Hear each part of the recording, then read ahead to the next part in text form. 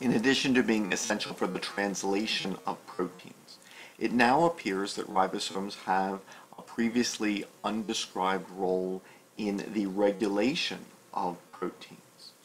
Ribosomes are themselves complex structures made of multiple RNAs and perhaps 79 proteins uh, or so. It now appears that these proteins can vary from ribosome to ribosome. While there are some proteins which are present in apparently all ribosomes, there are others which are only present in some ribosomes. The presence of some of these proteins can give a ribosome a more specialized function in translating RNAs because apparently untranslated region of the 5' region of RNA transcripts interacts with some of these proteins in ways that either encourage or discourage translation.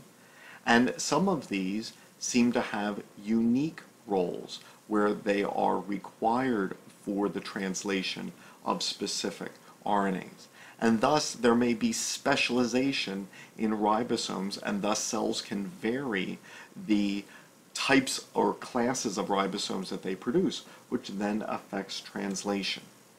If a ribosomal protein is removed or inactivated, this affects translation of some but not all proteins.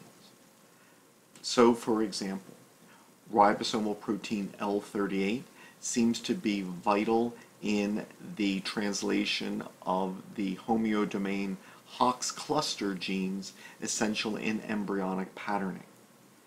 The ribosomal protein L21, uh, its loss causes the absence of body hair.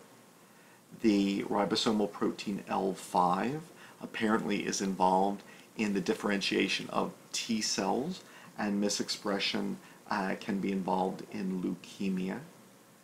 In the expression of some of these proteins, for example, um, the ribosomal protein L10A um, increases the translation of certain mRNAs, such as those involved in cell growth, but decreases the translation of other mRNAs, such as those involved in the stress response.